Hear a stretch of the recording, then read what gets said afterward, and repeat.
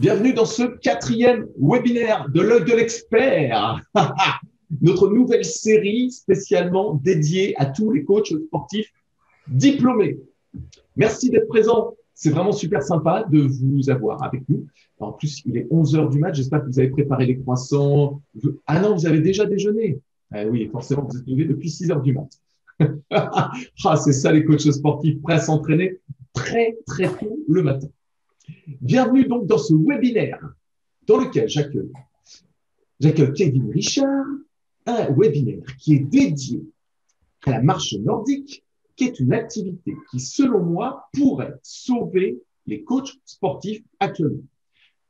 Vous le savez, vous êtes baigné dedans depuis des mois. Ça va faire bientôt un an qu'on est sur cette peu, peu, peu, de crise sanitaire. Pas évident. Vous êtes euh, relativement freiné dans votre activité, on l'est tous. Ce n'est pas forcément évident et on cherche pour vous des moyens de pouvoir vous en sortir, de pouvoir retirer votre épingle du jeu. Et parmi toutes ces solutions, eh bien, ça fait quelques mois qu'on teste la marche nordique et ça fait quelques mois qu'on s'aperçoit que la marche nordique, c'est quand même une activité qui est, qui est une des solutions qui permettra de sauver les coachs sportifs. Je vous donne simplement quelques informations, quelques statistiques. 12 000 à 15 000 coachs sportifs diplômés en France. Entre 12 000 et 15 000 coachs sportifs diplômés en France. Ça varie tous les ans parce qu'il y en a qui sortent du système, d'autres qui arrivent, qui sont formés. Donc, on est entre 12 000 et 15 000 coachs euh, dédiés à la forme. Hein. je parle, hein, bien évidemment, des coachs sportifs, que ce soit pour des cours collectifs ou que ce soit pour du personnel training. Bon, bref. Avec la crise sanitaire, vous savez qu'il y a, selon les spécialistes, entre 20% et 30% des clubs qui risquent de fermer. Entre 20 et 30%, ce qui est, énorme. Hein. C'est-à-dire entre 1000 et 1500 clubs en France qui risquent de fermer. Bon. Ça veut dire que forcément, il y a des dommages collatéraux par rapport aux coachs sportifs, parce que les coachs sportifs sont très souvent embauchés majoritairement par les clubs. Que vous soyez en tant que salarié ou en tant que travailleur indépendant, les clubs sont quand même votre, euh, votre première voie de, de, travail. Bon, si vous êtes personnel c'est euh, voilà, ça pose pas de problème parce que bah, vous travaillez à domicile. Par contre, si vous êtes personnel trainer dans un club et si ce club ferme, là, ça pose problème. Si vous êtes en plateau musculation et que le club ferme, ça pose problème. Si vous donnez des cours collectifs et que le club ferme, ça pose aussi problème. Ce qui fait que on envisage aujourd'hui euh, que entre 20 et 30% des clubs puissent fermer. Donc, ça va être peut-être pour certains d'entre vous une source de revenus qui va disparaître. Mais ce n'est pas tout. Depuis des mois, j'ai des coachs sportifs qui, en message privé, et je ne les citerai pas, mais ils sont très nombreux et de plus en plus nombreux, me disent euh, écoute Christophe, là c'est vraiment compliqué actuellement. C'est vraiment compliqué pour moi. Euh, J'arrive plus à donner de cours collectifs. Euh, les cours à distance, euh, j'ai pas réussi ou je ne les ai pas mis en place en temps et en heure. Donc j'ai moins de rémunération, j'ai moins de revenus. Ou alors j'ai pas fait de cours à distance parce que ça ne me plaît pas, c'est pas dans mon truc. Et ça, vous avez le droit, hein, bien évidemment. Donc j'ai plus les revenus d'avant. Et je suis obligé de reprendre côté comme caissier, caissière, oui, effectivement, caissier ou caissière. Il y en a qui sont retournés travailler à l'usine. Je vous promets. Hein. Alors, l'usine, pas le club de sport. Hein. L'usine, euh, là où euh, vous tournez des boulons, vous remplissez des bidons, vous mettez sous euh, carton, etc. Hein. Attention. Et il y en a d'autres qui sont dans le rouge le plus total et qui me disent Je ne sais pas comment je vais, je vais faire pour m'en sortir. Il y a donc, pour moi, entre 20 et 30% mais je peux me tromper, mais il y a aussi entre 20 et 30 en plus des 20 ou 30% de clubs, 20 ou 30 des coachs sportifs qui risquent de disparaître. Oui, c'est comme ça, qui risquent d'être sortis du métier, naturellement. Bon, ce qui fait qu'il faut qu'on trouve des solutions pour vous, pour éviter que euh, ça puisse arriver, et surtout pour que vous gardiez votre motivation, votre passion longtemps. C'est pour ça qu'on cherche des solutions pour vous, et c'est pour ça qu'aujourd'hui, j'ai invité Kevin Richard. Kevin Richard, alors, je vous le présente assez, assez euh, succinctement, euh, parce qu'on va passer au vif, dans le vif du sujet, mais vous allez voir quand même que c'est une pointure. Kevin Richard, il est passionné de sport en extérieur, déjà. Il est BPGEPS APT, il est BPGEPS activité de la forme. C'est un ancien compétiteur en marche nordique. Est-ce que vous saviez qu'il y avait de la compétition en marche nordique? Il a été formé euh, par euh, Nordic, Nordic Move. Euh, pardon, il a formé pardon, une association qui s'appelle Nordic Move. Il est créateur de l'association, non, pardon, il a été formé par Nordic Flow et il, a été, il est créateur de l'association Nordic Flow. Il a été formé par Nordic Move et il est créateur de l'association Nordic Flow. Autant pour moi. Et enfin, il est certifié ça, ça doit être le petit calva de ce matin. Non, je déconne. Et il a été certifié en préparation, il est certifié en préparation mentale avec euh, euh, l'organisme qui s'appelle les nouvelles formations dont on vous parle depuis longtemps. Kevin, bonjour, bienvenue et merci d'être là parmi nous. Alors, bonjour à tous, merci pour euh, l'invitation Christophe, c'est avec plaisir que je suis avec toi aujourd'hui et de voir tous ces coachs qui sont nombreux et qui vont revoir seulement cette vidéo en replay ou sur YouTube. Donc c'est avec plaisir que je suis là avec vous. Donc, ouais, tu m'as bien présenté et encore, le parcours, il pourrait être euh, beaucoup plus long à présenter. Donc, euh, beaucoup d'activités de plein air que je pratique.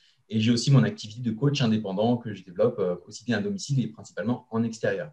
Donc, moi, aujourd'hui, malgré la crise, mon activité continue complètement à, se développer. je n'ai pas vu vraiment de trou. Hein. On a continué vraiment pendant tout ce temps-là, même pendant les confinements, que ce soit les séances quand on pouvait en présentiel ou les séances en visio et les programmes en ligne. J'ai fait plein de formations avec toi, donc j'ai mis plein de choses en application.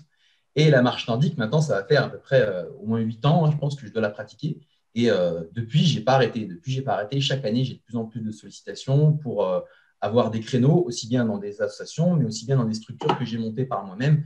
Et, sachant que l'activité de marche nordique, c'est quelque chose qu'on pratique constamment. C'est une activité pour les coachs, tous, les coachs diplômés aujourd'hui, que ce soit les différents BPGEPS, les CQP, les licences, peuvent encadrer cette activité. Donc après, on va creuser un petit peu le sujet. Mais c'est une activité qui est vraiment euh, très variée. On peut s'épanouir, on peut faire plein de choses avec, euh, aussi bien dans le côté euh, tout ce qui est l'activité de plein air, mais aussi tous ceux qui sont du fitness. On peut faire plein de mouvements qui se rapprochent au fitness avec les bâtons.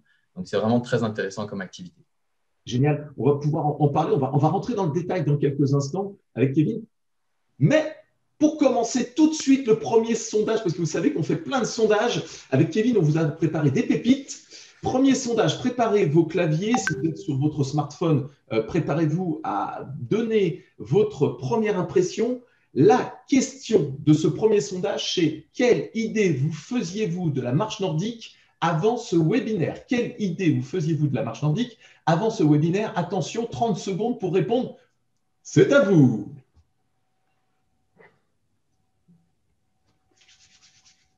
Allez-y.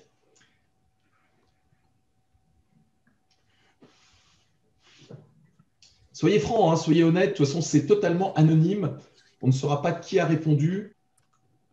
Résultat. Oh, il y a des préjugés là, je pense, un petit peu. Bon, justement, on va casser un petit peu ces préjugés. C'est très bien d'avoir ces réponses. Ah oui, c'était l'idée. C'était, mais j'ai été comme vous. J'ai été comme vous. La première fois que j'ai entendu marche nordique, j'étais comme vous. Ah ouais, 35%. Euh, alors effectivement, l'image de la marche nordique, 35%, qui est peut-être pas forcément la bonne. On va voir ça. Hein. on va voir ça aujourd'hui. Alors, c'est un truc d'association sportive. C'est vrai que j'avais aussi ce, préjugé avant. Euh, ah, il y, a comme quelque chose d'intéressant, c'est que c'est une source de revenus considérable pour 26% d'entre vous. On ne peut pas la pratiquer toute l'année. OK. Je vais avoir des forêts. 4% qui n'étaient pas forcément très, très attirés. OK. Bon, parfait. Eh bien, ce qu'on va faire, c'est que là, on va donc rentrer dans le vif du sujet.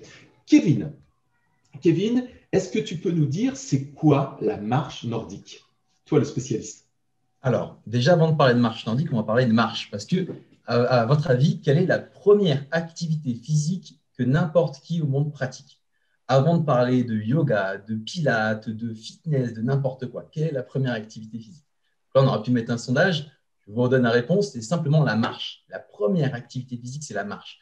Vous allez voir un médecin, vous avez des problèmes de santé, des problèmes de n'importe quoi. La première chose qu'il va vous dire, c'est quoi? Allez marcher. Ça, c'est la première chose. Et marcher régulièrement. Quand vous évaluez la condition physique de quelqu'un, vous demandez quoi généralement C'est quoi le nombre de pas qu'il fait par jour?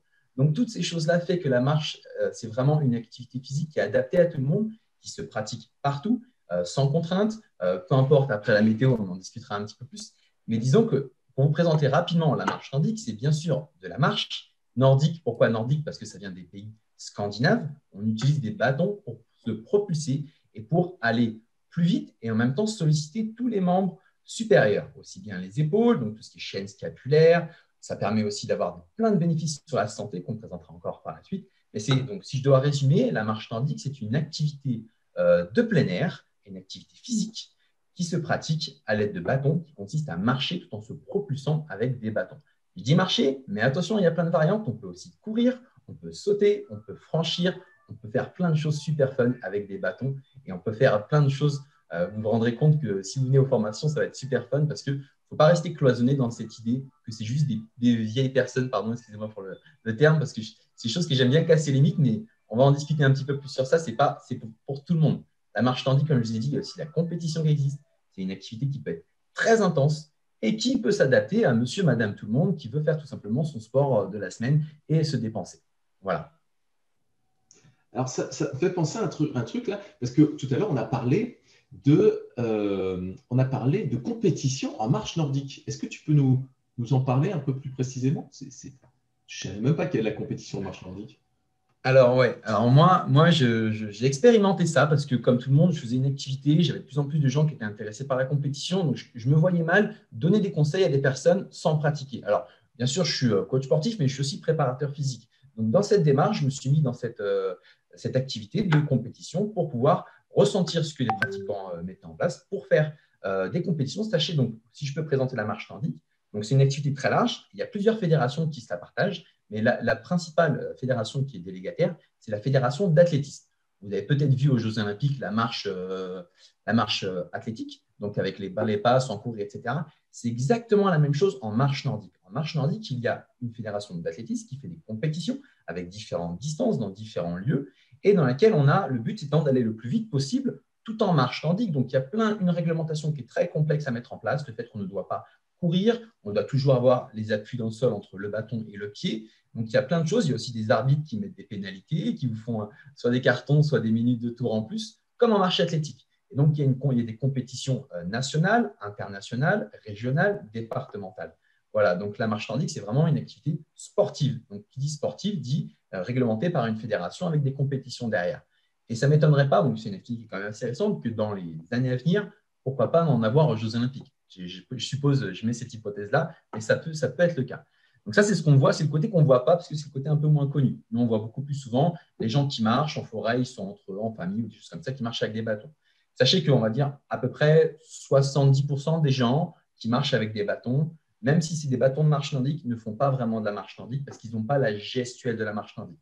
On va en débriefer, on va, on va expliquer un peu plus c'est quoi la gestuelle de la marche nordique, mais c'est plutôt de la marche avec bâton. Alors attention, ne pas confondre la marche avec bâton ou randonnée avec la marche nordique, parce qu'il y a vraiment un mouvement précis à avoir en marche nordique qui est très intéressant, qui va avoir plein de bénéfices pour la santé et pour cette notion de vitesse, d'amplitude, etc.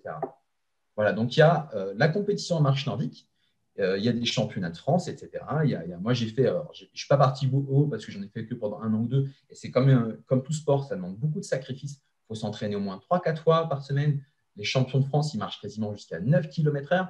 Donc, pour ceux qui connaissent un peu la vitesse, c'est vraiment important. Moi, ce que je faisais, c'était du 8,45 et vraiment, j'étais à, fond. Pourtant, j'étais en pleine possession de mes moyens. Mais aller chercher un champion de France qui était à plus de 9, c'est ultra difficile. Les gens en moyenne marchent plutôt autour des 5-6 km/h quand ils marchent bien. Et euh, voilà, donc il y a vraiment une variété d'activités qu'on peut faire dans la marche nordique, aussi bien tout le côté loisir, sport santé, sportif euh, dynamique hein, pour les gens assez euh, sportifs, mais après le côté très athlétique, le côté athlétique avec des compétitions et des compétitions. Donc ça veut, dire, ça veut dire que si je comprends bien, si on veut faire de la compétition, on est obligé d'être affilié à la Fédération française d'athlétisme, et si on veut faire du sport loisir, on n'a pas besoin d'être affilié à cette fédération. Exactement, et tu peux avoir aussi certains, comme moi je connais, qui ont, ils sont dans une association un peu euh, sport pour tous, par exemple, c'est une fédération, mais qui prennent une licence à l'année pour pouvoir faire des compétitions dans la fédération d'athlétisme. Et par contre, c'est uniquement la fédération d'athlétisme qui fait des compétitions. Après, il existe différents rassemblements, et c'est plutôt des sortes de randonnées qui sont organisées par d'autres fédérations ou d'autres associations. Mais toutes les compétitions sont gérées par la Fédération française d'athlétisme. C'est super intéressant. Euh, est-ce qu'on peut, est peut le pratiquer? Ça, c'est une question qui vient de nous être posée. Est-ce qu'on peut le pratiquer sur du sable? Alors oui, effectivement. Et d'ailleurs, les gens adorent ça. Alors, principalement plutôt du sable mouillé, mais le sable sec, ça se fait aussi. Donc, ça se pratique en plein air généralement, avec euh, des endroits comme en forêt principalement, mais ça peut se pratiquer sur du sable, ça peut se pratiquer à la montagne, ça peut se pratiquer aussi en milieu urbain, parce qu'on peut mettre des patins, donc des embouts en caoutchouc, de façon à marcher en ville avec. Sachez qu'il y a des pointes qui font du bruit pour adhérer dans le sol, mais il y a plein de choses où on peut adapter des accessoires pour pouvoir pratiquer en milieu urbain. Beaucoup de gens sur Paris pratiquent. Et moi, personnellement, j'encadre des associations donc en région parisienne, mais j'ai des associations, par exemple, dans 94. Et nous, on marche dans le bois de Vincennes. Ceux qui connaissent le bois de Vincennes, je fais des marches nordiques là-bas, je fais aussi dans le bois de Boulogne, euh, dans plein de bois, etc., aux alentours. On fait de la marche nordique. Pas forcément obligé d'avoir une grosse forêt à côté de soi. Moi, j'ai une base de loisirs juste à côté. Plein de choses où on peut toujours faire de la marche nordique où on veut. Je sais qu'il y en a qui sont sur Lyon, en plein Lyon, en ville. Des fois, il y a des randonnées. La visite de Lyon avec les monuments en marche nordique, ça c'est super fun. Donc, il y a tout un côté social avec du monde, mais aussi le côté culturel avec la visite des monuments, etc., avec des guides culturels. Sur Paris, il y a la même chose avec les trail Il y a plein de choses, des événements qui mixent la marche nordique. Et d'ailleurs, j'en profite parce que souvent, quand vous allez voir maintenant aujourd'hui des compétitions ou euh, n'importe quelle course à pied, moi, je sais que ma ville, euh, à Draveil, organise une course à pied chaque année, sauf depuis maintenant, avec le Covid, c'est un peu compliqué. Et ben maintenant, à chaque fois que tu as le club d'athlétisme qui fait euh, sa course à pied, a toujours, greffe toujours la marche nordique, de façon à pouvoir convenir un maximum de personnes et toucher un maximum de gens. Parce qu'il y a beaucoup de gens qui aujourd'hui ne peuvent plus pratiquer la marche nordique, soit parce qu'ils ont des traumatismes ou autres, ou parce que les gens n'aiment pas tout simplement courir et préfèrent marcher. Et aujourd'hui, vous allez voir que les trois quarts des, euh, des compétitions hautes de course à pied proposent la marche nordique en complément. Et oui, donc c'est beaucoup moins traumatisant que la course, bien évidemment. Et, euh, on, a une question là, parce que c'est super intéressant de, le fait d'être en extérieur, de voir euh, des monuments, de pouvoir le faire en urbain avec ces petits patins en caoutchouc qui évitent justement qui protègent cet embout de bâton, le fait de pouvoir en faire à la montagne, à la campagne, euh, dans les parcs et forêts, sur les plages. Donc ça, permet vraiment de, pouvoir l'en faire partout, partout où, vous êtes, vous, en tant que coach sportif. Et il y a une question qui, vient de nous être posée. Est-ce qu'on est obligé pour faire de la marche nordique d'avoir des bâtons? Ah oui, qui dit marche nordique dit bâton, et dit des bâtons particuliers, parce que ce n'est pas des bâtons de randonnée. Souvent, l'erreur qu'on voit, on voit les gens qui ont des bâtons de randonnée, qui sont des bâtons qu'on se tient, alors qu'en marche nordique, c'est des bâtons qu'on va lâcher. On a une dragonne avec une fixation. Alors là, j'ai un bâton, mais je n'ai pas la fixation par contre à vous proposer, où on va lâcher la main derrière soi, la main va s'ouvrir chercher à propulser dans le, derrière le bassin la main de façon à chercher à pousser. Le bâton ne le tient pas constamment. Alors que les bâtons de randonnée, on voit les gens qui marchent avec des bâtons un peu plus à la verticale. Et ça, c'est des bâtons de randonnée. C'est deux types de bâtons qui sont différents.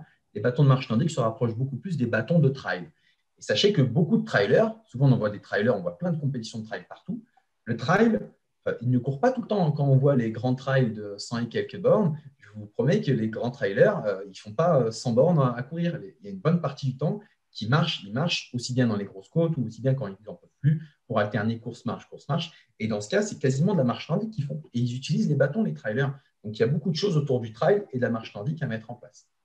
Ah, eh, c'est super intéressant parce que là, là, ça fait tomber pas mal de préjugés qu'on pouvait avoir parce que généralement, qu'est-ce qu'on voit, euh, vu que ce n'est pas très, très médiatisé, on voit des personnes qui sont dans les parcs et jardins, on voit des personnes qui sont en pleine nature, euh, qui sont des personnes qui sont, c'est très souvent des, seniors, mais pas que. Hein. et euh, ça, donne l'impression que c'est un truc un peu pépère, que c'est euh, voilà pour se sortir de chez soi, pour avoir une activité physique. Mais en fait, on n'avait pas tous forcément conscience de ça. Et c'est là que c'est très très intéressant parce que c'est là qu'intervient la partie sport santé que on peut tous mettre en place sans forcément avoir un BPGEPS à pas, par exemple, à péter, pardon ou pas. Oui, alors ouais, on peut tous s'en mettre. Alors je vois que dans les présents, il y a un certain Laurent qui est là, qui a fait la formation BPGEP, c'est pas longtemps, qui a validé, et qui était un des stagiaires que j'ai eu en, encadrement avec euh, une de mes associations. Et vous pouvez lui demander éventuellement s'il pourra témoigner. Bah, je peux vous dire que des fois, nous, on a des groupes. Alors je vous présente un groupe qui est le groupe de, de Marche Nordique. On a quasiment plus de 60 personnes. Et dites-vous qu'on a à chaque fois des groupes de niveau, parce que ce n'est pas possible de gérer tout le monde. On a des groupes de niveau avec des débutants, enfin des débutants un peu plus sport santé un groupe qui est plutôt intermédiaire, des gens qui sont des fois assez sportifs, mais qui veulent y aller un peu tranquille. Et on a un groupe qu'on appelle les ultras. Alors, ils portent bien leur nom, parce que je peux vous dire que les ultras, pour garder le rythme derrière eux, quand tu finis la séance, tu es, plié en deux. Et Laurent pourra en témoigner. Des fois, je peux vous dire qu'on est là, on finit. Même moi, je, dis, mais quand est-ce qu'ils vont s'arrêter? Parce qu'ils ne s'arrêtent pas, ils foncent, ils foncent, ils foncent. Et je peux vous dire que c'est quand même une activité très intense et euh, qui joue beaucoup sur l'endurance, parce qu'on est sur des activités qui vont. Alors, on va marcher pendant près de une heure et demie, deux heures on va quasiment faire des fois jusqu'à 11 km, même aller jusqu'à 12, avec une vitesse quand même intense, sans, pause quasiment tout le temps. Donc, ah, des fois, ça peut être très, très physique. Hein. Et c'est génial justement pour les personnes qui sont en surcharge pondérale parce qu'il n'y a pas d'impact comme on pourrait avoir en, course. Et donc, pour perdre du poids, une heure et demie, deux heures, c'est quand même une activité qui, euh, qui brûle beaucoup de calories. Euh, on va accueillir euh, là, on va accueillir un pratiquant. Alors, écoutez bien. Il s'appelle Jean-Philippe. Il est euh, sur la région toulousaine. Il a été formé en marche nordique et là, de 10 heures à midi, il était avec un groupe. Il est avec un groupe de marche nordique. Donc, on va l'accueillir et puis euh, vous allez voir, on, rentre directement dans le sujet. On est en plein, euh, air là, en plein extérieur. Euh, Jean-Philippe, est-ce que tu nous entends? Jean-Philippe. Alors, il n'est peut-être pas encore prêt. On va attendre quelques instants. Donc, il était avec son groupe, il est avec son groupe, hein. il fait une pause boisson. Et il m'a dit, OK, on va être là, on va tous, et puis je vais pouvoir vous donner euh, mon, impression en direct, en extérieur. Jean-Philippe, alors ça c'est euh, ça c'est le direct, hein, bien évidemment. je ne le vois pas là. Même si vous le voyez en replay, vous êtes quand même en direct. C'est ça la magie d'Internet. Je déconne, on n'est pas, en, pas en replay. Alors, euh, est-ce que, est que Benjamin, tu peux faire, tu peux éventuellement activer le micro de JP En attendant, on va poser quelques questions, on va répondre à quelques questions. Euh, est-ce que, tu, euh, est-ce que tu crées des parcours? Comment ça se passe, Kevin? C'est une question d'Aminata. Est-ce qu'on crée des parcours quand on fait de la marche nordique? Alors déjà, un gros bisou à Aminata que je connais bien. Et euh, oui, alors il y a plein de notions de parcours et euh, c'est un jeu, c'est un jeu pour moi parce que les parcours changent systématiquement. Et euh, d'ailleurs, en, parlant de ça, souvent c'est un peu la remarque qu'on fait sur les, éducateurs de marche nordique. Souvent, ils s'enferment à faire toujours le même départ, toujours le même parcours, alors que non, il faut vraiment être dans cette, idée de la marche nordique, c'est quelque chose qui doit varier constamment chaque séance. Il faut proposer un, un contenu de qualité. Et donc, oui, il y a la notion d'orientation qui va être à prendre en compte. Mais même si vous êtes débutant, vous ne savez pas vous orienter, quand vous avez un parc, c'est vraiment simple à le faire. Le, but, c'est déjà de connaître l'endroit où vous allez. Vous pouvez rester aussi sur des parcours qui sont balisés parce qu'il y a plein de parcours qui sont balisés par la Fédération française de randonnée, qui fait aussi de la marche nordique.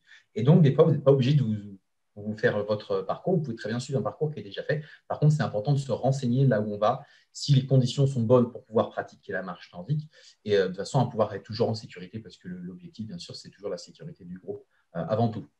Donc, euh, beaucoup de parcours euh, en région parisienne. D'ailleurs, c'est, euh, on a une zone qui est extra.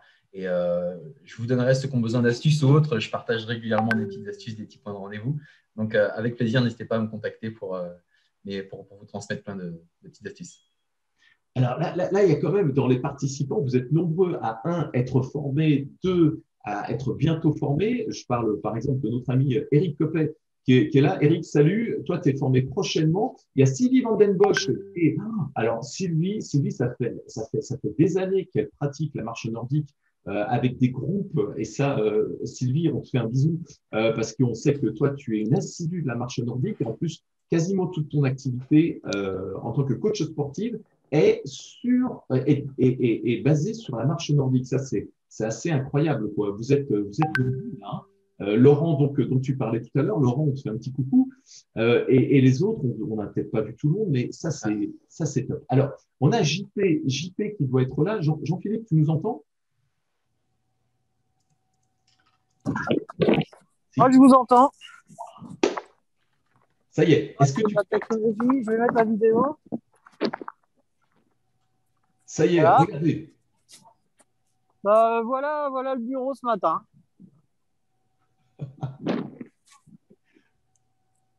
Ah, c'est top. Hein. Voilà. Euh, on pique à gauche, les amis. Bon, faut quand même que je les guide un minimum parce que sinon, ça va être le bordel.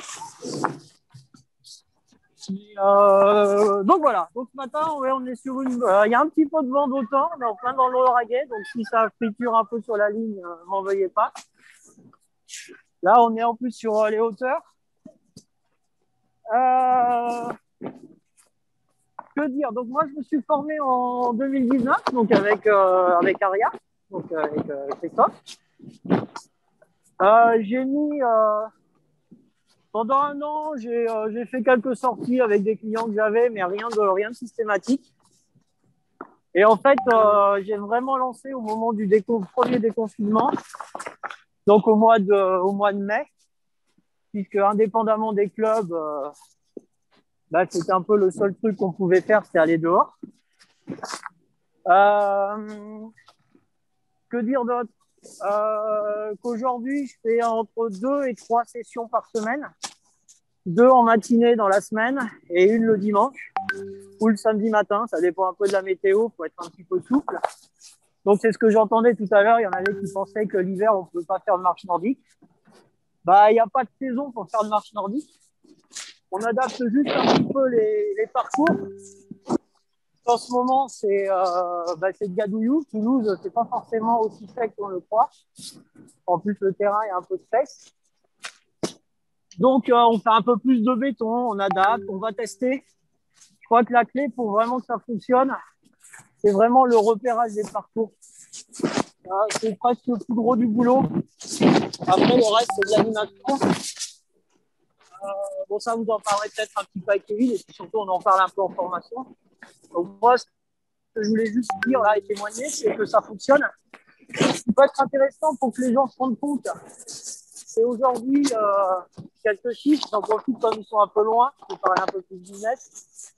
Mais euh, en ce moment, à deux, trois sessions dans la semaine, c'est euh, 600, 600 euros à peu près, moi, de d'affaires dans le mois, en sachant que c'est que le début. Euh, une grosse sortie, donc la sortie du dimanche, en ce moment, c'est des sorties à 100, 120 euros euh, pour deux heures de boulot. Enfin, deux heures de boulot. Un peu plus parce que il y a le repérage, mais une fois que vous avez une base de parcours, les parcours se rejoignent. Donc, euh, non, non, moi, comme je disais à Christophe, c'est vraiment la formation 2019 euh, qui, euh, qui a été la, la, le meilleur investissement. Quoi. Et puis, euh, sans compter le bien-être pour vous en tant que coach, je préfère faire une sortie de deux heures en marche nordique, très convivial, très sympa, euh, que de me fracasser euh, sur un body attack sur un roller. Donc, euh, donc voilà. Et puis, un autre aspect qui est important, parce que ça, c'est quelque chose qui est en train de prendre un peu d'essor, moi, de mon côté. C'est euh, surtout que vous avez du contact avec des gens et vous avez le temps de parler un petit peu avec les gens. Et parler avec les gens, ça permet aussi de faire en fait tout ce qu'on fait, ce qu'on est censé faire quand on veut vendre du personnel training. Et aujourd'hui, j'ai des clients en marche nordique qui m'achètent du personnel training. Donc, euh, donc c'est un formidable levier aussi pour connaître les gens, pour connaître vos clients et, euh, et s'adapter au plus près de leurs besoins. Donc vraiment, j'ai envie de dire, c'est, banco pour tout le monde, quoi. C'est banco pour les gens, c'est banco pour vous aussi en tant que, surtout en ce moment, on a besoin de, de soupapes un peu de sécurité, de soupapes de, comment dire, qui font du bien à la tête. Et ça, sincèrement, euh, c'est vraiment une activité top pour tout ça. Donc euh, voilà, résumé en gros un petit peu l'expérience que j'en ai, en sachant que vous pouvez développer d'autres choses. Je sais que moi, je vais m'atteler là à développer un peu la partie tourisme. Donc, euh, pour proposer des choses aux touristes de passage dans la région. Donc là, ça va être euh, un travail de, si j'ose dire, un peu vulgairement, de culturisation de mes parcours. Mais c'est plein de, c'est plein de possibilités, quoi. Il y a plein de choses à faire avec la marche nordique. Et on peut faire des parcours plus thématiques, euh, des fonds. Euh, je sais pas si on passe sur un point très. Bon, là, par exemple, typiquement, c'est le genre d'endroit que j'ai pas repéré avant. Et c'est un peu le bordel bon, bref. Voilà, c'est pour éviter de leur faire redescendre la même côte. on va espérer qu'il n'y a pas de chien. Mais, mais voilà. C'est ça pour dire euh, à fond, quoi, marche nordique à fond. Merci. C'est plein de potentiel. Merci à toi, merci pour euh, ce, petit, euh, ce petit court instant avec ton groupe. On te laisse continuer tranquillement. Ouais. Bon après-midi, finissez tranquille et puis prenez soin de vous. On vous embrasse et merci encore. À très vite. Allez, bon courage tout le monde. Merci. Ciao. si je peux me permettre, donc, je pense que Jean-Philippe a, bien résumé euh, tout ce qu'on peut dire pour ce, webinaire. extra en tout cas cette présentation. Il a, il a vraiment présenté super bien les choses, le contexte. Et d'ailleurs, Jean-Philippe, je t'invite à, à ce qu'on échange ensemble parce que je pense qu'on partage la même passion. Tu as l'air d'être dans un super endroit. Le, côté contact humain est ultra important et c'est les choses que je regrettais quand je travaillais en salle de sport. Aujourd'hui, les gens avec qui je suis en marche nordique, c'est vraiment, euh, on est plus que des, euh, juste la relation coach et un client, c'est vraiment euh, une amie, des amis, une famille. Et aussi le côté avec l'environnement extérieur, il y a un contact avec la nature où il y a plein de choses à développer. Comme on l'a dit tout à l'heure, je fais de la prépa mentale, je suis en train de vraiment développer tout ce qui est aspect bien-être avec l'environnement extérieur, donc la connexion avec la nature, mais aussi le fait d'être en plein air pour se détendre, pour se vider la tête, pour se reconnecter avec ses émotions, ses sensations.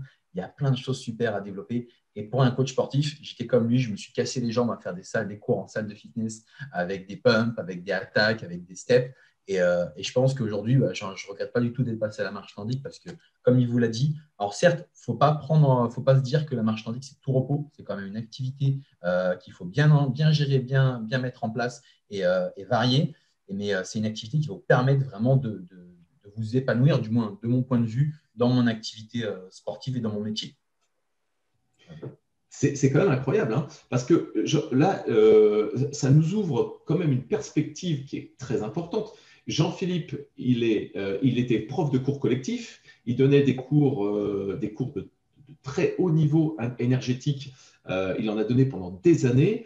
il est personal trainer. Et du jour où il a commencé à, se faire former en marche nordique, tout de suite, lui, ça lui a ouvert des perspectives, vous avez, vous l'avez vu, hein, euh, vous l'avez entendu, des perspectives incroyables. Et euh, il a quand même maintenant, il a juste lancé son activité il n'y a pas très longtemps, deux à trois séances par semaine. Et il est sur un, coût de 100, 120 euros. Euh, alors, il y, a un truc, un truc qu'il faut, qu'il faut quand même rappeler, c'est quand même que la marche nordique a été introduite en France par Aria Meyer, quand même. Hein. c'est bien ça, Kevin? Alors, euh, exactement, Aria, euh, qui j'ai fait des stages, et euh, j'ai deux mentors en marche nordique, j'en ai deux, et Aria fait partie d'eux, et j'ai un autre aussi qui est Roland, qui est le Aria Bis, mais de la montagne, et, et c'est deux, deux, personnages extraordinaires. Et Aria, aujourd'hui, me passe le relais via les formations, que j'adore comme pas possible, Aria, parce que c'est un amour, toujours en train de partager sa passion, des conseils, des astuces, qui continue un peu de sa pratique, mais qui aujourd'hui laisse un petit peu elle a d'autres activités en parallèle, donc se concentre sur euh, souffler un petit peu parce qu'elle a déjà permis vraiment de développer la marche nordique en France. Elle a formé, je pense, presque si je disais un millier de personnes, ça ne m'étonnerait pas parce qu'elle a dû voir tellement de monde passer entre ses mains, aussi bien les pratiquants que les animateurs, coachs euh, marche nordique. Donc Aria, c'est la référence en France de la marche nordique, du moins pour moi, et euh, je pense que pour pas mal d'entre nous. Voilà. Et c'est un honneur, franchement, un honneur. Il y a un téléphone. C'est pas moi. il y a eu, il y a eu un, moment donné, il y a une soirée. C'est pas grave. Euh, ouais, c'est un honneur quand même que Aria ait pu te, passer le, flambeau parce que Aria, elle est partie sur, euh, sur des personnes qu'elle coach maintenant, en particulier en VIP, donc euh, en marche nordique. Elle, est, elle fait du VIP en marche nordique. C'est, ça, c'est énorme. Alors, j'ai une question. On a une question qui, est, donnée par elle. Combien de personnes en moyenne on peut encadrer sur une, séance de marche nordique, Kevin? Alors, moi, je vous dirais qu'il n'y a pas de limite. C'est-à-dire que vous pouvez prendre 100 personnes. J'ai fait des échauffements avec 200 euh, personnes, des choses comme ça. Il n'y a pas de limite. les seules limites, c'est celles que vous, vous allez vous imposer par rapport à vos capacités en termes de sécurité. Généralement, moi, je considère que 15, un groupe de 15 personnes, c'est bien. Sachant qu'actuellement, le contexte est un peu particulier avec le, Covid, on a des limitations en termes de restrictions de nombre de personnes. Donc, c'est 5 plus 1. On va être à 6, donc c'est 5 plus 1. Mais il y a toujours des astuces pour pouvoir encadrer euh, plus que 5 personnes. Et euh, ça, on vous partagera ça en formation. Petite pépite euh, en plus. Mais on peut encadrer plus. En ce moment, on est limité à 5 plus 1. Mais sachez qu'on peut normalement apprendre. Moi, les cours que je fais généralement, c'est entre 15 et 20 personnes. Pas plus de 20 parce qu'après, en qualitatif, tu perds quand même en accompagnement, ce qui est très important marche nordique, c'est le côté social. Il y a le côté, comme il avait dit, il a présenté notre partenaire tout à l'heure, notre ami, c'est vraiment le côté de connaître le nom de chaque participant, connaître euh, les capacités, les difficultés, mais on connaît aussi la vie d'un peu tous les jours. Mais en même temps, on peut leur recommander plein de choses, des conseils. Il y a des conseils autour de la nutrition, du bien-être. Euh, tout à l'heure, on parlait du coaching. Alors, sachez qu'on peut, euh, ça peut aider la marche nordique à développer votre coaching particulier. Moi, j'ai fait un petit peu la chose, dans le sens inverse. C'est-à-dire que j'ai beaucoup de gens en coaching particulier pour une raison de budget, ne peuvent pas faire 3 à 4 séances par semaine. On est d'accord, je pense que pour tout le monde, ils ont une à deux séances par semaine. Et pour qu'on continue à garder une activité physique, font la marche nordique avec moi le week-end. Donc, en gros, ils me voient trois fois par semaine, deux coachings plus un marche nordique. J'ai des personnes, c'est ça. Et d'ailleurs, dans mon groupe de marche nordique, j'ai au moins, dans le même groupe, hein, trois, quatre personnes qui font du coaching avec moi. Donc, oui, c'est une activité qui vous permet de proposer un service complémentaire de votre service de coaching euh, sportif. Et on peut faire même, euh, on parlait tout ce qui est aujourd'hui euh, les programmes en ligne avec Jérôme Poison. On peut faire des programmes en ligne de marche nordique. On peut faire du suivi via des applications d'entraînement, etc., de marche nordique ou de la préparation physique autour de la marche nordique. Moi, j'ai des personnes que je suis en prépa physique qui font, je leur donne des programmes de prépa physique et derrière, ils me font des retours sur leurs séances. j'ai via l'application un suivi de leur performance, etc. Et ça me permet vraiment de propulser ça, de, chercher à avoir un suivi, même à distance, de ceux qui font de la marche nordique. Voilà. Et, Donc, c'est très complet. Combien il faut estimer le, coût pour, euh, pour un pratiquant? Alors, pas, pas combien, parce qu'on va, on va poser la question dans quelques instants, combien ça lui coûte de venir sur une, session, mais euh, en termes de matériel, combien ça coûte? Prenons l'exemple d'une salle de sport. Je sais pas, les salles de sport, hein, on va dire, c'est aux alentours de 400 euros euh, à l'année. Ça va être, pour certaines, ça va être 600-800 euros. D'accord? La marche nordique, ça va vous coûter quoi? Ça va vous coûter une licence à l'année, peut-être, qui est, selon les associations, ça peut être différent. Un bon 200 euros, déjà, c'est pour une association, c'est l'affiliation à la fédération. Ensuite, le matériel, c'est tu prends une fois une paire de bâtons, c'est entre 60 et 100 euros. Ta paire de bâtons, elle peut tenir jusqu'à jusqu'à 5-10 ans sans problème. Donc, en termes d'investissement financier pour le participant, ce n'est pas énorme parce que la paire de bâtons, tu les gardes pour tout le temps. Ta tenue de sport, c'est une tenue de sport que tu peux utiliser pour du running, pour de la marche, pour n'importe quoi. Donc, ce n'est pas une tenue qui est très complexe. Après, certes, si tu veux aller plus loin, il y a des tenues un peu plus techniques. Pareil, les bâtons, mais sachant que les bâtons, tu peux les garder 3, 4, 5 ans, voire plus, sans problème. Donc, après, en termes de budget, je pense que ça c'est moins cher que pour un adhérent euh, de prendre euh, une, affiliation, enfin, prendre une association de marche nordique que d'aller à la salle de sport. Et sachant que les associations de marche nordique peuvent proposer des cours principalement le week-end. Des fois, ça peut être en soirée, on fait des cours un peu plus courts, mais il y a aussi tous les cours en semaine pour certains, ceux qui ne travaillent pas, ou les seniors. C'est pour ça que souvent on voit les seniors, mais les seniors, c'est plus ceux qui font du sport en semaine, pendant les heures creuses, on va dire, enfin, les heures euh, où les gens travaillent. Et après, il y a des, des cours, il y a le soir, mais il y a aussi le week-end. Donc après, c'est comme des activités que vous faites en salle de sport, et le soir et le week-end, c'est là où ça marche le mieux, généralement. Et est-ce qu'il faut des chaussures spéciales? Les chaussures type running suffisent. Après, les chaussures de trail sont l'idéal. Voilà. Ce n'est pas un, gros investissement. Aujourd'hui, vous allez dans n'importe quelle boutique euh, de sport, vous trouvez le matériel qu'il faut. Et d'ailleurs, j'en profite pour vous recommander euh, pour l'achat des bâtons. Il y a plein de questions souvent qui viennent sur les bâtons. Il y a des tailles de bâtons, il y a des marques de bâtons. Si vous avez des questions particulières, n'hésitez pas à venir vers moi. Sinon, je vous invite à aller vers un partenaire qui s'appelle la boutique du bâton, qui est sur Internet. Et vous pouvez avoir un code promo pour bénéficier de 10% avec Kevin10 pour 10% sur euh, l'achat des bâtons euh, de marche nordique. Et si vous êtes une association, vous passez une commande de plus de 25 bâtons, vous contactez directement, vous avez des remises qui sont encore plus intéressantes. Voilà. Donc ça, c'est très très intéressant. Euh, question, une question qui nous a été posée. quel type de public tu, peux viser avec, avec cette discipline? Alors, tout public tout public. Euh, c'est vrai qu'on, comme on, en parlait, c'est vrai, ça, ça a tendance à être un public plutôt senior, principalement senior. Moi, j'ai des groupes qui sont quasiment seniors, mais j'ai des groupes qui sont plus autour de la quarantaine, 40, 50 ans. Moi, aujourd'hui, la moyenne est plus autour de 40, 50 ans, et, euh, et qui sont plus de 50, 60, voire plus, mais euh, c'est un peu plus le public qu'on a. Sachez que je connais aussi des groupes qui ont des personnes beaucoup plus jeunes, qui sont autour de la trentaine. Aujourd'hui, avec la sédentarité, avec euh, le fait de faire une activité sportive euh, sans avoir de traumatisme articulaire et autres, bah, la marche nordique s'adapte à tout le monde. Donc, j'ai même, je connais des personnes qui ont à peine 22-25 euh, ans et qui font de la compétition en marche nordique. J'en connais de plus en plus jeunes qui se mettent à la marche nordique. Et la marche nordique va, dans les prochaines années à venir, redescendre de plus en plus au niveau des tranches d'âge.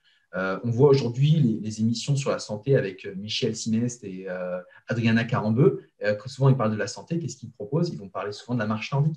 Donc, il y a plein de choses qui vont faire aujourd'hui qu'il y a de plus en plus de personnes, de plus en plus jeunes, qui se mettent à la pratique de la marche nordique. Eh oui, c'est une, discipline qui est, qui est réémergente, on pourrait presque dire, parce que ça n'existe pas depuis hier, hein, ça a quand même des années des années d'existence. Donc, c'était un peu camouflé, c'était souvent laissé pour les associations sportives, mise un peu de côté parce que ça paraissait pas très, très dynamique. Mais là, c'est une, une, discipline qui, remonte, remonte, remonte, remonte, remonte dans les médias. Tout le monde en parle. il y a même des grands sportifs euh, en rugby. Je vous ai mis il n'y a pas très longtemps sur mon mur un article de, personnes qui sont de, de, célébrités qui pratiquent de plus en plus la marche nordique parce que les gens s'y intéressent. Euh, c'est comme le yoga. Le yoga, ça, ça, monte en puissance. La marche nordique, ça monte en puissance. Et à Kevin qui vous parlera peut-être, si on a le temps encore euh, tout à l'heure, de, pouvoir fusionner les deux, Pilates, yoga, euh, pardon, marche nordique, yoga, marche nordique, Pilates. Il y, a, pas mal de choses à faire, on va peut-être vous en parler tout à l'heure, mais il y, a, il y a une question qui vous brûle les lèvres, je le sais, et cette question, c'est combien, combien ça peut rapporter une, session de marche nordique Alors, JP, tout à l'heure, nous en a parlé un petit peu, Jean-Philippe Lol, mais là, on a un sondage à vous proposer. C'est le sondage à combien peut-on vendre pour une personne, qui, pour un pratiquant, hein, à, combien peut-on vendre à un pratiquant, un pratiquant, combien est-ce qu'il est, il pourrait payer une session de marche nordique Donc, on lance le sondage Préparez-vous, vous êtes à vos claviers, vous avez 30 secondes pour répondre. Allez, c'est parti, 4, 3, 12, 1. Hey 5 euros maximum, 5, 6 à 9 euros, 10, 15 euros, plus de 15 euros. Qu'est-ce que vous en pensez, à votre avis?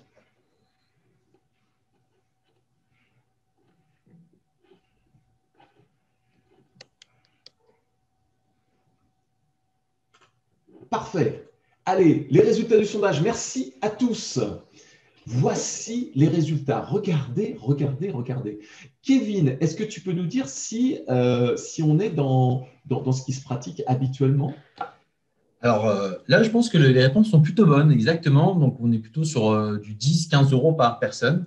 Et après, je vous dirais que c'est variable, c'est très variable. On a parlé souvent des associations. En association, ça reviendra limite à moins cher que ça parce que c'est des associations qui prennent un abonnement à l'année. Mais moi, l'association, par exemple, Nordic Flow, avant de le créer sous format associatif, on était un groupe d'indépendants où on marchait tout simplement, où les gens payent tout simplement avec des cartes. Carte, une séance, carte 10, 20 séances, etc. Et c'est à peu près cette gamme de tarifs-là. Après, sachez que euh, la marche nordique, on peut la diversifier. J'ai proposé des activités de marche nordique en entreprise. Donc après, c'est plus les gens qui payent, mais c'est plutôt l'entreprise qui vous paye. Donc c'est des versions encore un peu différentes. Mais on peut aussi organiser sous forme d'événements. On peut avoir, au lieu de prendre 10, 20 personnes, on peut avoir 40, 50, 60 personnes. Donc je pense que ça peut vraiment varier de tout à rien. Ça, peut mettre une fois 6 euh, le tarif parce qu'on peut prendre aussi des séances de personal training une séance de personnel training, on est d'accord que ce n'est pas cette gamme de tarifs, c'est beaucoup plus haut parce qu'il y a un service qui est beaucoup plus sur une personne ou voir un couple ou voir quelque chose comme ça. Ou dans ce cas, il y a quand même un service de qualité qu'il faut proposer derrière et qui derrière euh, avoir une rémunération conséquente. Donc, euh, ça peut être euh, aussi bien dans ces gammes de tarifs si vous êtes plutôt sur format associatif ou si vous faites des groupes individuels, comme les cours de bootcamp. Moi, j'ai fait longtemps des cours de bootcamp, c'était à peu près ça. Et après, ça peut être plus élevé si vous faites du coaching, si vous faites si vous faites euh, encore des activités en entreprise, c'est encore beaucoup plus élevé, ou euh, d'autres versions, euh, ça peut monter encore un peu plus. Alors, on va faire un calcul rapide. imaginons 10 à 15 euros pour la séance. La séance, elle dure entre 1h30 et 2 heures. 10 à 15 euros. vous avez 10 à 20 personnes. Imaginez 10 à 20 personnes de 10 à 15 euros. Vous voyez combien ça peut vous faire de rémunération à l'heure?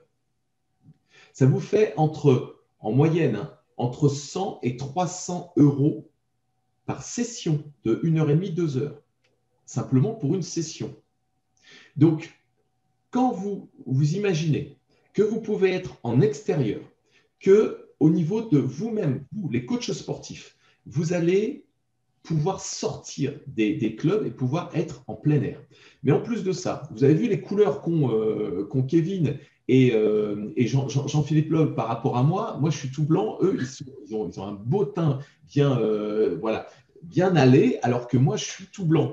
En plus de ça, ils prennent, donc ils prennent le, soleil, ils ont des rémunérations qui sont quand même bien au-delà de ce que se font actuellement les rémunérations en club. Ça veut dire que lorsque vous faites une séance de 1h30, 2 heures, vous avez l'équivalent de 3 heures à peu près en club de cours collectifs. Vous investissez sur votre santé, vous investissez sur la, santé des autres. C'est du sport santé globalement.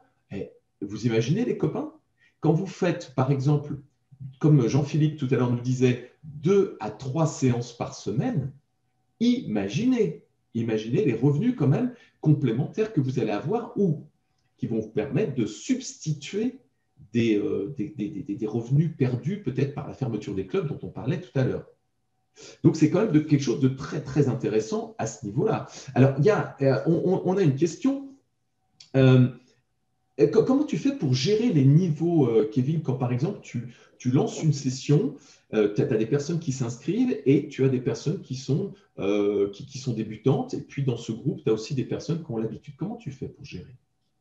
Ça, on le voit un peu plus en formation, mais il y a plein d'astuces. Il y a plein d'astuces. Comme je l'ai dit, moi, j'ai des groupes, par exemple, on est 60 personnes, on va prendre quatre coachs. Quatre coachs, chaque coach a un groupe de niveaux différents. Donc, tout de suite, ça permet de répartir les gens dans des catégories hein, différentes par rapport à euh, leurs objectifs. Après, sur une même séance, avec un même groupe, il y a plein d'astuces sur le terrain pour apprendre à gérer les vitesses. Donc, il y a la notion où on va faire une navette, c'est-à-dire que les plus rapides vont venir chercher ceux d'après, ceux d'après. Ou sinon, il y a plein d'astuces pour euh, faire en sorte que ceux qui sont plus rapides aient des parcours qui sont plus longs que les moins rapides, etc. etc. Donc, il y a toujours la possibilité d'adapter au niveau de chacun. Euh, mais après, il faut connaître le terrain, il faut avoir de la pédagogie, il faut savoir adapter euh, le contenu euh, par rapport aux objectifs de chacun. Il y a, plein d'astuces, mais sachant que c'est quand même une des difficultés principales qu'on remarque, surtout pour des coachs débutants. Mais une fois qu'on a de l'expérience, c'est comme les parcours, c'est comme tout. Une fois, les parcours au début, ça vous demande allez, 3-4 mois pour connaître les parcours. Une fois que vous connaissez les parcours, à chaque fois, il ne faut pas refaire tout le même parcours, mais c'est de, la, gym, mais les parcours, on les fait en les connaissant par cœur. Je ne connaissais pas le bois de, Vincennes à l'époque, je ne connaissais pas le bois de Boulogne, je ne connaissais pas ça. Aujourd'hui, je connais les forêts euh, comme ma main. J'ai aujourd'hui, tu as les montres GPS si tu as besoin, avec euh, retour au point de départ si tu as un problème dans la forêt. Donc, non, non, il n'y a pas de problème. Surtout, les gens, ils sont friands des, petites choses comme les applications avec le suivi. Ils aiment bien voir leur parcours. Des fois, on fait des parcours avec une forme de cœur, une forme de quelque chose pour que ce soit assez sympa. Non, c'est assez fun. Il y a plein de choses à faire hein, pour adapter le niveau de chacun. et voilà. Et est-ce qu'il faut être référencé sport santé? Alors, euh, pas du tout, pas du tout, comme je disais. Euh, alors, au niveau des diplômes, pour encadrer de la marche nordique, souvent, malheureusement, on parle, j'ai vu tout à l'heure un commentaire sur les fédérations EPGV ou autres. Il y a beaucoup de fédérations sportives avec des associations, ou même des fois, c'est des bénévoles qui encadrent. Alors là, on va pas ça. Moi, je, suis plus dans le côté professionnel. Je ne vais pas rentrer dans le débat avec les bénévoles. Sachez que le service est différent. Euh, vous, en tant que professionnel, vous apportez un service de qualité et il faut montrer la différence quand vous apportez un service pour valoriser justement le fait que vous êtes payé pour ça. Donc, il y a des bénévoles qui font ça et euh, je sais très bien, il faut qu'il y en ait pour tout le monde. C'est là souvent, d'ailleurs, on va voir des gens d'un certain âge parce que souvent, les gens d'un certain âge vont dans ces associations-là. Maintenant, il y, a des, associations ou des clubs euh, de coachs particuliers qui développent leur activité et euh, il y aura des niveaux différents, il y aura des prix différents, il y aura des services vraiment de qualité différente, mais c'est à vous, en tant que coach, de pouvoir adapter votre contenu par rapport aux participants, tout simplement. Ça, c'est top. C'est vraiment, c'est vraiment génial. Alors, on, peut peut-être parler de, législation, là, puisqu'on est, on, est dedans. continuez à poser vos questions. Hein. N'hésitez surtout pas. Vous, allez-y, allez-y. Posez-nous un max de questions. Nous, ça nous fait plaisir d'y répondre et de partager tout ce contenu de, très haute valeur. Alors, concernant euh, la réglementation, par exemple, prenons les, euh, les personnes qui sont en milieu urbain. Euh, est-ce qu'il y, y, a nécessité, lorsque l'on doit se déplacer, vous savez, avec ces petits patins qu'on met, des petits patins en caoutchouc au bout des, des picots du, du, bâton, et que l'on va en ville pour faire de la marche nordique, pour que ça soit, par exemple, euh, simplement culturel ou même sportif, est-ce qu'on a, euh, Kevin, euh, l'obligation d'avoir une autorisation de par la commune? Non, sachant que tous les espaces publics, comme les parcs, les forêts et autres, vous n'avez pas l'obligation de, faire une demande. Vous pouvez utiliser l'espace public qui est public pour l'utiliser. Maintenant, si vous êtes amené à faire ça dans un espace plus ou moins privé ou de la commune, par exemple un, stade où il y en a qui font autour d'un stade, etc., vaut mieux dans ce cas demander l'autorisation. Mais il n'y a aucun problème. Nous, on marche dans la France entière. On organise régulièrement des, stages. Par exemple, on parlait du SAP tout à l'heure. Nous, on fait des stages un week-end en Normandie où tout le week-end, on alterne de la marche. Le matin, l'après-midi, on fait du pilates, du yoga, du stretching, du renforcement musculaire et euh, des petits apéros. Et puis voilà. Donc, euh, assez sympa. On peut pratiquer partout. On peut pratiquer sur la plage, en forêt. Il n'y a pas de, de demande particulière à faire.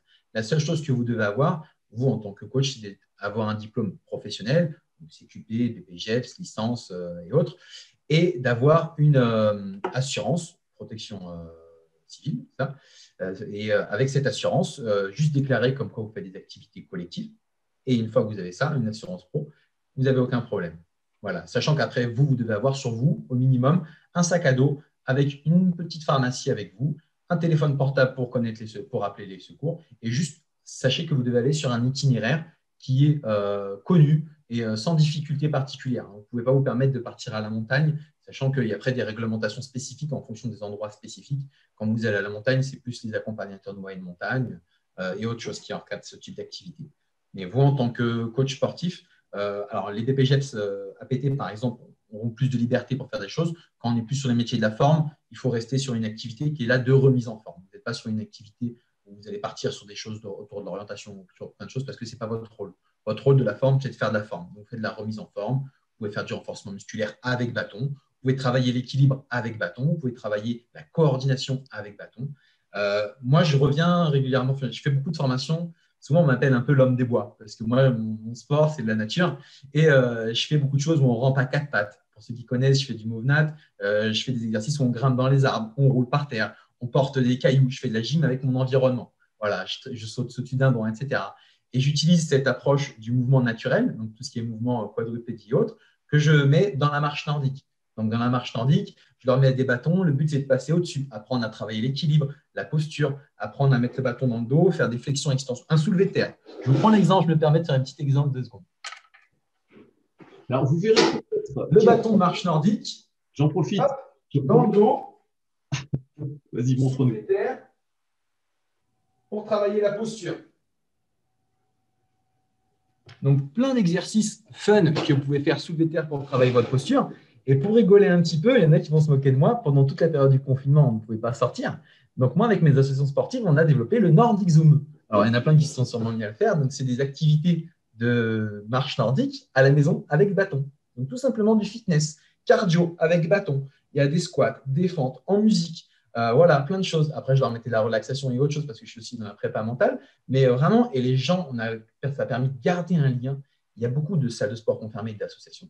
Et nous, les gens qui sont avec nous, qui continuent à faire les activités pendant tout le confinement, ils nous ont tellement, euh, tellement qu'ils étaient contents en sortant de là. Ça a permis de créer du lien social. Les gens, ils sont beaucoup plus heureux, moins stressés.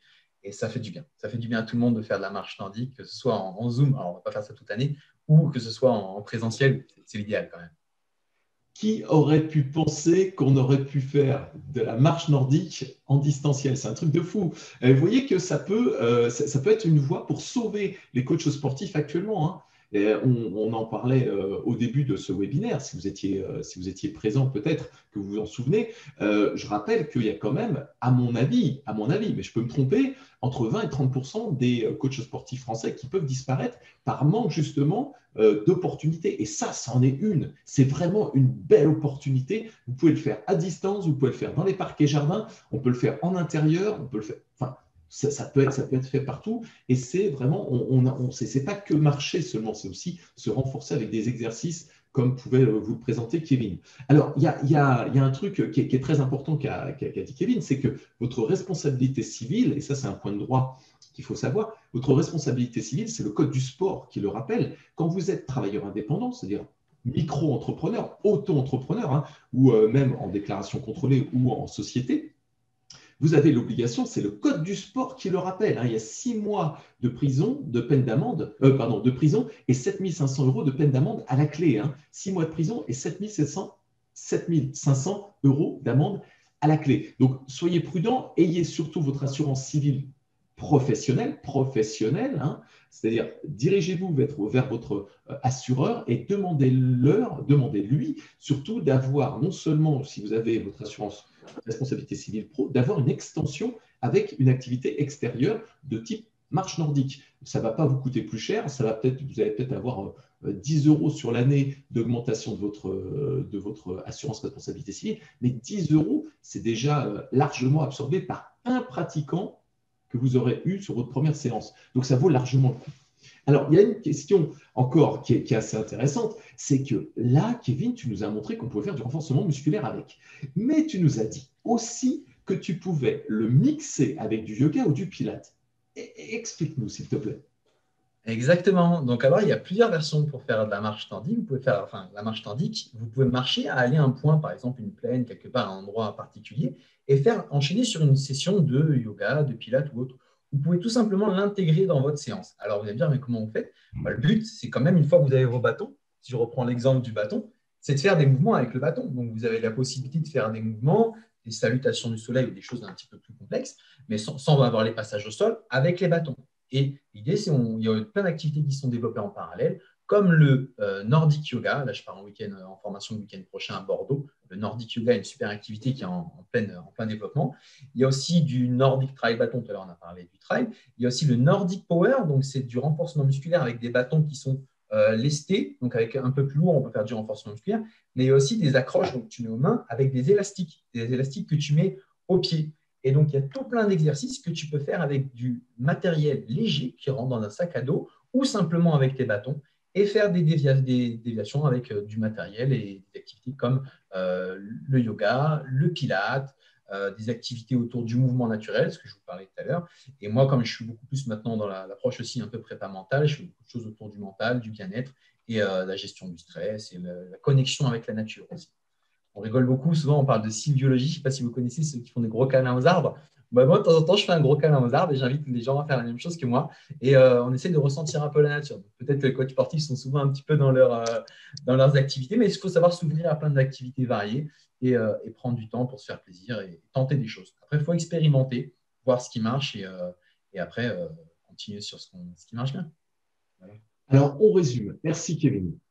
C'est une activité de plein air. C'est une activité qui est sport santé, qui va vous permettre d'attirer un, public très très large. Vous allez augmenter votre spectre de captation. Ça va vous permettre d'avoir des revenus qui sont conséquents, de vous protéger, de protéger votre corps et votre intégrité physique globalement euh, au fur et à mesure des années. Et en plus de ça, euh, c'est une activité qui est simple à mettre en place. Donc, vous avez, vous avez la possibilité, si vous le souhaitez, hein, de, euh, moment donné, d'ouvrir votre, état d'esprit et de vous dire, tiens, il n'y a pas que euh, le pilate dans la vie, il n'y a pas que euh, le, le, step, il n'y a pas que le body pump, il n'y a pas que euh, le stretching. Il y a aussi d'autres activités qui sont très, très intéressantes vers lesquelles on peut aller, que tout le monde ne pratique pas. Donc, vous allez être parmi ceux qui vont être bah, les plus à même d'être appelés par, les, par le public parce que forcément, vous allez être parmi les seuls à le faire dans votre, département, dans votre région. Ce qui fait que vous allez attirer beaucoup plus de monde.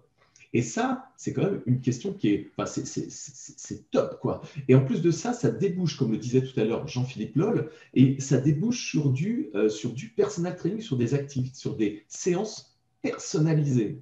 Donc, vous avez vraiment, mais une activité qui est top, top, top. Alors, Kevin, comment, euh, comment on fait pour te, retrouver? On va, mettre, on va le lien là, mais on, on peut te retrouver quand en formation? Alors, formation prochaine, c'est 20-21 mars. Euh, ici dans l'Estole, donc on est en 91, ça sera à Soisy-sur-Seine. Donc on a une petite salle de sport euh, qui nous accueille et on ira marcher en forêt. Il y aura peut-être même complètement des mises en situation avec des groupes de marche nordique qui seront là l'après-midi. Donc on était en train de discuter tout à l'heure, peut-être qu'on essaiera d'expérimenter ça. Donc tout de suite, on est mis dans le bain. On, apprend la théorie le matin avec les mouvements techniques, puis après, on pratiquera. Donc ça se passe sur deux jours, puis après, il y aura plusieurs dates qui seront euh, mises en place les mois suivants, courant avril, mai, juin. Euh, on enverra les dates, on mettra sûrement en lien les dates euh, via Christophe Batz. Alors, on vous, a mis, euh, on vous a mis le lien. Donc, vous avez, si vous avez envie, vous pouvez rejoindre Kevin et vous faire former par Kevin pour cette, cette, discipline. Là, aujourd'hui, je, regarde, je regarde le taux de remplissage. Tu es à. Il reste trois places pour le mois d'avril. Et puis, ensuite, ça sera au mois de mai. C'est ça. Non, pour le mois de mars. Voilà, il reste trois places. Et après, ça sera au mois de mai. Début mai, les 8 et 9 mai, que tu vas pouvoir, euh, que tu les retrouveras. Hein. c'est bien ça. Hein? c'est ça, c'est ça. Alors, juste pour euh, préciser, si vous avez des questions particulières, souvent on me dit est-ce que je dois prendre des bâtons? Est-ce qu'il faut avoir un certain niveau de particulier? Vous n'avez pas besoin d'avoir un niveau particulier. Si vous voulez des bâtons le jour J, le jour de la formation, je prête des bâtons. Euh, au niveau des bâtons, n'allez pas tout de suite investir sur du matériel parce que vous ne savez pas encore ce qu'il faut acheter. Et euh, souvent, on a tendance à acheter des choses et finalement, on ne le fait pas. On les, prend, mais ils ne sont pas adaptés à ce qu'on veut. Le mieux, c'est de tester le matériel. Donc, je vous ferai découvrir. J'ai même, euh, je vous enverrai après des liens pour euh, télécharger, pour acheter du matériel. Donc, le jour J, si vous avez des questions ou si vous voulez voir un petit peu ce que je propose, donc moi, j'ai sur Facebook, sur Instagram, Nordic Flow. Bientôt, le site internet, internet nordicflow.fr dans lequel on va faire un blog. Il y aura bientôt la chaîne YouTube. Il y a plein de choses qui vont se développer au cours de l'année. Voilà. Euh, et euh, après, si vous voulez me parler directement, c'est Kevin Richard euh, sur, sur Facebook ou vous laissez un message. Quand vous avez des questions, passez directement par un message, j'y répondrai avec plaisir sur toutes les questions sur la, formation de, marche nordique. Voilà. bah, c'est cool. Et on, a, on a répondu à toutes les questions là. On n'en a plus. C'est vraiment. Alors, s'il y a, y a Cassandra, tu voulais, tu voulais nous parler, c'est ça, non? Cassandra, tu peux activer ton micro si tu veux nous parler. Hein.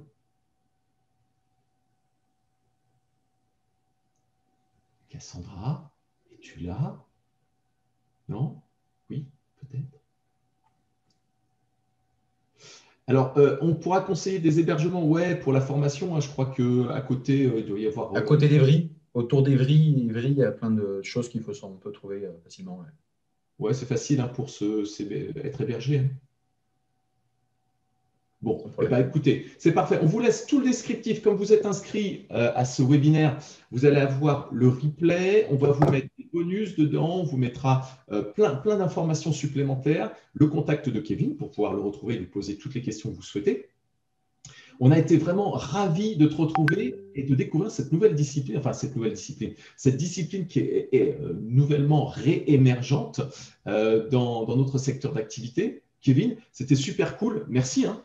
Merci, avec plaisir et euh, à bientôt pour euh, les formations et au plaisir de refaire des petites euh, des webinaires avec toi. Bon, eh bien, on vous embrasse. On vous dit à très, très bientôt. On vous met le jingle de fin de façon à pouvoir refaire quelques pas de danse maintenant que vous êtes chaud. Et on vous dit à très, très bientôt. N'hésitez pas à nous laisser vos questions. À très vite, les amis. On vous embrasse. Salut à tous.